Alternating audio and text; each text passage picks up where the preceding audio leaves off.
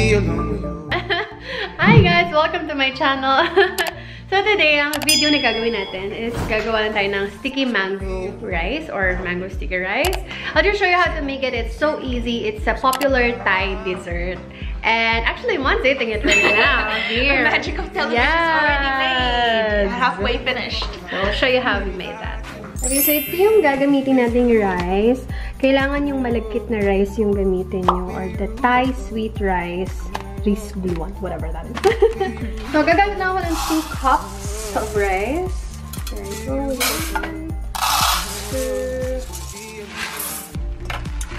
And then, we wash it.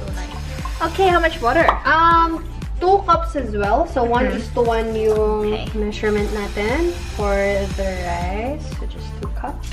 There we go. And then, sasain na natin. Actually, dapat may cloth talaga. Kaso, wala akong cloth thing. So, omit na natin yon. Tingnan natin kung anong kakalabasan without a cloth. so, ayan. Sain lang tayo. Okay, so what are we gonna make now? So, gagawa na tayo ng sauce for the sticky rice. Ay, dirty. For the sticky rice, um, so we are using coconut milk. So, this time, hindi light yung pinili ko. Gusto ko kasi talagang malasahan. Um, siguro 200 ml lang yung gagamitin natin. We're not gonna use the whole can of milk. Pour na lang dito yung ating coconut milk. Pahinaan lang yung apoy. Actually, low heat dapat, guys. It's actually not meant to be boiled, so low heat lang tayo. Ayan, nalulusaw na yung mga buo-buo niya. And then we're gonna add some sugar. Sugar, sugar. So, medyo hindi to 100%. hindi to sobrang healthy kasi me- medyo maraming sugar i-add natin. I'm going to be adding 3 spoons siguro. 3 spoonfuls. Kasi kailangan matamis siya. This is a dessert, um, by the way. So, it needs to be sweet. so, just mix it. Um, minimix natin para malusaw yung sugar, yung grains. Now, if you have pandan leaf, you can also put some pandan leaf. It adds flavor. Pero kung wala kayong pandan leaf, I think it's fine to omit that. Just wanna be alone with you. Also, we can add a bit of salt, like half um half a tablespoon. Pero tatansyahin na lang. Everything here is tastansya. Yes. You make your own recipe, guys. Yeah. So, ayan, mga ganyan. so, um, yeah, li- like one-fourth tablespoon siguro. Konti lang. Tansya-tansya lang tayo, guys. Baby, it's cool. And if you wanna fuck around, baby, I think that's with niyo na. You. Ayun. Siguro habang hinihintay natin yung rice tsaka to, pwede na natin i-prepare yung mangoes. Okay. Alam mo naman, may prepare dito, hihiwain lang naman siya.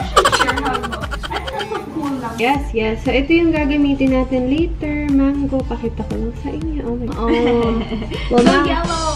mangoes here in Australia may look perfect, but it's not as sweet as the one in Philippines. But it's nice. Gosh, I can't wait. So ngayon, it's a waiting game. Oh. Waiting game, guys. So habang naga, naantay namin yung rice, inaantay namin yung chocolate, it's a waiting game. So while we're waiting, we're just gonna have a chit-chat with Monica. Let's do What's your it. name again? I've seen so many of them come. Want me just play pretend? All your girls, they just wanna have fun. But it's the same old thing that we all see.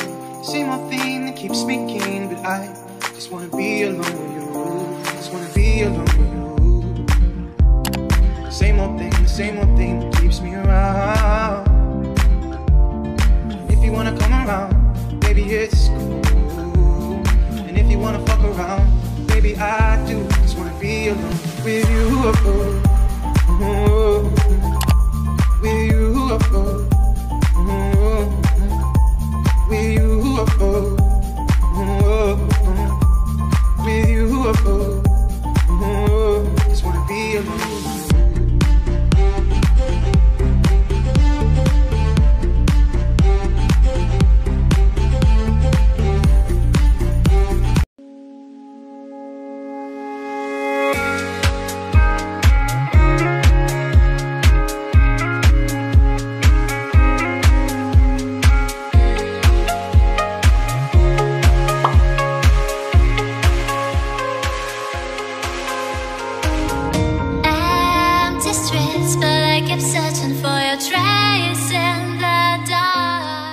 About one third? Um, maybe kahit one fourth.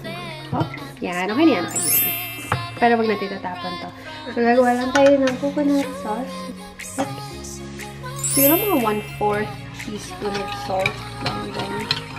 So, this sauce meant, is meant to be salty kasi yung sauce na nilagay natin sa rice, yun yung sweet, kasi ito yung salty. Ibubuhos natin mamaya either sa ibabaw ng rice or sa ibabaw ng mangoes. Yan.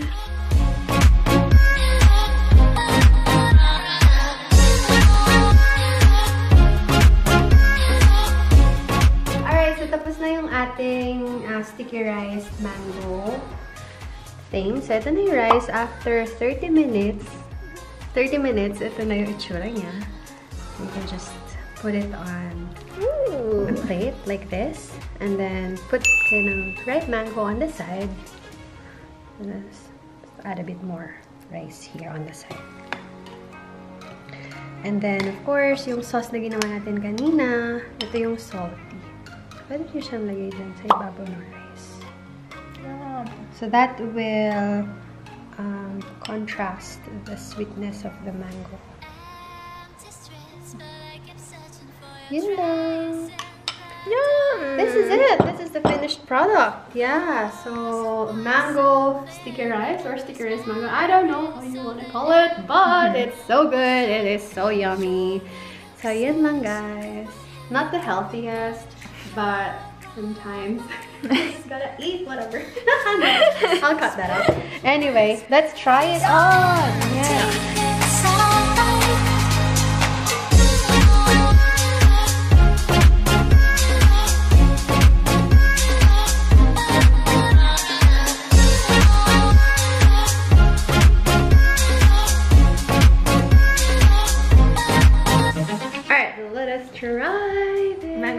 Rice.